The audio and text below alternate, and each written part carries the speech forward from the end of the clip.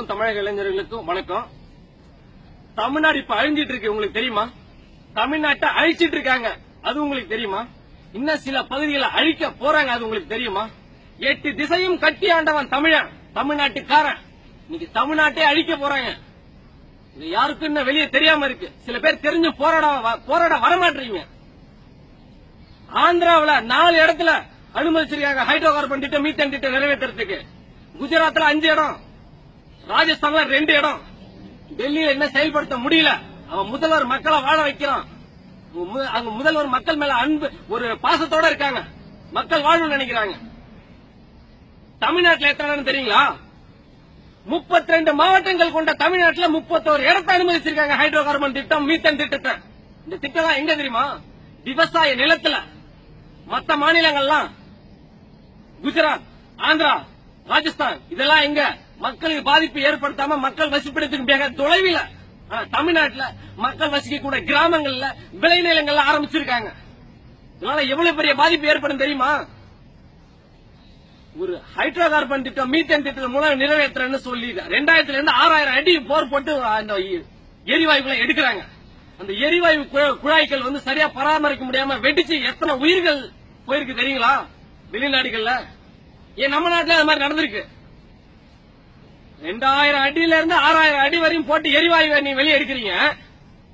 அதை எடுத்து வெளிநாட்டுக்காரனுக்கு விக்கிறீங்க. எங்களுக்கு கொஞ்சம் தான் கொடுக்குறீங்க.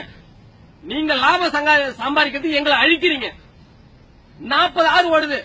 கேரளாவில் ஒரு பிடி மண்ணால முடியாது உங்களால. கேரளாக்காரன் அந்த மாதிரி வச்சிருக்கிறான் சட்டம். தமிழ்நாட்டுக்காரன் இருக்கக்கூடிய கனிம வளம் ஆற்று மணல் கிரானைட் எல்லாத்தையும் கொள்ளடிச்சு வித்துறான். இப்ப ஆற்று மணல்ல கொள்ளையடிச்சு கேரளா கர்நாடகா ஆந்திரா எல்லாத்துக்கும் அணைக்கட்டை கொடுக்குறான் அவன் நமக்கு தண்ணி கொடுக்க மாட்டான். நெய்வேலி நிலக்கரி சுரங்கம் ஆரம்பிச்சதுல இருந்து இன்னைய வரையும் இருபத்தி ரெண்டு கிராமங்கள் அழிக்கப்பட்டிருக்கு. எத்தனை பேருக்கு தெரியும்? முப்பத்தஞ்சு சதவீதம் மின்சாரம் மட்டும்தான் தமிழ்நாட்டுக்கு. அறுபத்தஞ்சு சதவீதம் மின்சாரம் கேரளா கர்நாடகா ஆந்திராவுக்கு போயிட்டு இருக்கு ஆனா அவன் நமக்கு தண்ணி தரல. ஆனா நம்ம கரண்ட் தந்துட்டு இருக்கோம். கேட்க முடியாது. கேட்டா அடிப்பான். மீத்தேன் திட்டத்துக்காக ஒரு லட்சத்தி அறுபத்தஞ்சாயிரத்தி எட்நூத்தி பத்தொன்பது ஏக்கர் நிலப்பரப்பு வந்து கையகப்படுத்துறோம் கையகப்படுத்தி வெளிநாட்டுக்கார கம்பெனி அந்நிய நிறுவனம் இது போன்ற நிறுவனங்களுக்கு ஓஎன்ஜிசி போன்ற நிறுவனங்களுக்கு கொடுக்கறான். நாலஞ்சு வருஷம் குத்தகையா. நம்ம நிலம் மீத்தேன் திட்டம் ஹைட்ரோ கார்பன் திட்டம் எடுத்ததுக்கு அப்புறம் எப்படி இருக்கு தெரியுமா உங்களுக்கு? சிம்பிளா உதாரணமா சொல்லணும்னா கரும்ப ஒரு மிஷின்ல போட்டா சாறு ஒரு பக்கமும் சக்க ஒரு பக்கமும் வரும். அவன் நம்ம நிலத்துல இருக்கக்கூடிய முக்கியமான சாரை எடுத்துருவான். வெறும் சட்டையை கொடுத்துருவான். அதுக்கப்புறம் நீ எத்தனை உரம் போட்டாலும் எத்தனை எவ்வளவு ப- செலவு பண்ணி நீ நிலத்தை பராமரித்தாலும் ஒண்ணும் விளையாது. ஏன்னா சக்க அப்படிதான் போயிட்டு இருக்கு தமிழகம். எட்டு திசையும் கட்டியாண்ட தமிழ் இன்னைக்கு அழிவு நோக்கி போயிட்டு இருக்கான் கேட்க ஆள் இல்ல. இந்த அரசியல்வாதி இந்த அரசியல் எதுவுமே சரியில்லை. மத்த மாநில முதல்வர்கள் மக்கள் நல்லா இருக்குன்னு நினைக்கும் போது தமிழக அரசியல் ஏன் நினைக்க மாட்டான் மூவாயிரத்தி இருநூறு மதுக்கடைகள் மூடப்பட்டதை அதை திறக்கிறதுக்கு வந்து தமிழக அரசு முன்வர போது ஏன் விவசாயிகளை பாதுகாக்கவும் விவசாய நிலங்களை கையகப்படுத்துறாங்களே அதுக்கு போராடுறாங்களே? ஏன் முன்வர மாட்டேங்குது? ஏன் நீங்களே வாரி கொடுக்குறீங்க? தமிழக மக்களை காக்க வைங்க தமிழக மக்களை நீங்களே அழிக்கிறீங்க. மத்திய அரசும் மாநில அரசும் சேர்ந்து தமிழ்நாட்டை அழிக்குது.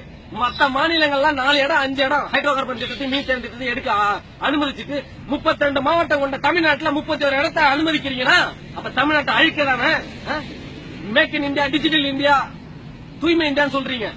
இத்தனை இந்தியாவை வச்சு எண்ணூர் துறைமுகத்துல கப்பல் விபத்து ஏற்பட்டது. என்ன பண்ணீங்க? ஒரு இயந்திரத்து மூலயமா என்ன படலங்களை அகற்ற முடிஞ்சது அவங்களால முடியல. பக்கெட் பக்கெட் வச்சீங்க. தண்ணியில் மேல இருக்கக்கூடிய எண்ணெயவே உங்களால பாதுகாக்க எடுக்க முடியல இயந்திரத்து மூலம். எரிவாயு குழாய் வெடிச்சதுன்னா சுத்துப்பட்டு கிராமங்களும் தமிழ்நாடே அழிஞ்சு போகும். சுத்தி புல் புண்டு கூட முளைக்காம போயிடும். என் நிலத்துல வேணாம். என் நிலத்துல எடுக்காத அப்படின்னு போராடக்கூடிய தமிழ்நாட்டு மக்களை அரசியல்வாதி மத்திய அரசும் மாநில அரசும் காவல்துறையை வச்சு அடிக்கிறாங்க. காவல் தெய்வம்னா என்னங்க? கருப்பு சாமி ஐயனார் வீரனார் முனீஸ்வரன் சுடலமான எல்லாம் காவல் தெய்வம். காவல் தெய்வம் நம்மளை காக்கணும்னு நினைச்சு மக்கள் கும்பிடுறாங்க.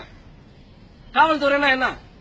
காவல்துறைனா மக்களை காவல் காக்கணும் நம்மளுக்கு பாதுகாப்பா இருக்கணும். நம்ம வரி பணத்தை வாங்கிட்டு நம்மளே அடிக்கிறாங்க. அரசியல்வாதிக்கு சொம்படிச்சு சொம்படிச்சு நீங்க அப்படியே தலையை குறிஞ்சிட்டு தான் போயிட்டு இருக்கீங்க. விவசாய மக்கள் வாழ்றதுக்காக விவசாய நிலத்தை கையகப்படுத்தி அவனுங்க எரிவாயு குழாய் அமைக்கிறாங்கன்னு போராடுறாங்க. சமீபத்துல கதிரமங்கலத்துல அந்த எரிவாயு குழாய் வெடித்து எண்ணெய் படலங்கள் குடிநீரிலையும் விவசாய நிலங்களையும் பாதிச்சுச்சு. யாருக்கும் தெரியாதவன் இல்ல. எல்லாருக்கும் தெரியும். போராட முன் வர மாட்டீங்க. இன்னைக்கு தஞ்சை மாவட்டம் நாளைக்கு கடலூர்.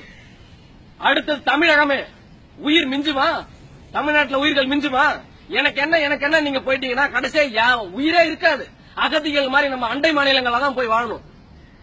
ஆயிரத்தி தொள்ளாயிரத்தி அறுபதுல சோமாலியா மிகப்பெரிய விவசாய நாடு. மீத்தன் திட்டம் ஹைட்ரோ கார்பன் திட்டம் மூலமா எல்லாத்தையும் அந்த நாட்டில் செலுத்தி வெளிநாட்டுக்காரன் கம்பெனி அந்த நாட்டு அரசியல்வாதிகள் கைக்குள்ள போட்டுட்டு அந்த ஹைட்ரோ கார்பன் திட்டம் மீத்தன் திட்டத்தை மூலம் அங்க எடுக்கிறேன்னு போய் அந்த விவசாய நிலத்தை அழிச்சிட்டாங்க. இன்னைக்கு அந்த விவசாய நிலத்துல வெறும் புல் பூண்டு கூட முளைக்கல. அதே மாதிரி நிலை தான் தமிழகத்துக்கு வரப்போகுது. அது உங்களுக்கு பல பேருக்கு தெரியும். தெரிஞ்சு நீங்க போராடம் வர மாட்டீங்க. பல பேருக்கு தெரியல. அதுதான் வேதனைக்குரிய ஒண்ணு. காவல்துறையிட்ட ஒண்ணு கேட்டுக்கிறேன். போராட்டத்துல கலந்துக்கூடிய ஆம்பளைகளை கைது பண்ணி உள்ள தள்ளிடுறீங்க. பெண்கள் முதியவர்கள் குழந்தைகள் பார்க்காம தடியடி நடத்துறீங்க.